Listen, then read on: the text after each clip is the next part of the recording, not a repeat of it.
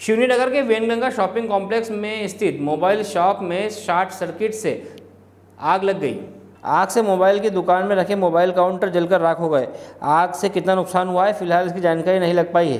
प्राप्त जानकारी के अनुसार नगर के बेनगंगा शॉपिंग कॉम्प्लेक्स स्थित मोबाइल दुकान में शॉर्ट सर्किट की आग लगने की घटना प्रथम दृष्टिया सामने आ रही है। शिवनी से महबूज अंसारी की रिपोर्ट। हेलो फ्रेंड्स आप देख रहे हैं हमारा channel S W twenty four news हमारे सारे वीडियो सबसे पहले देखने के लिए आप हमारे चैनल को सब्सक्राइब करें और पास में लगे बेल आइकन को दबाना बिल्कुल भी ना भूलें।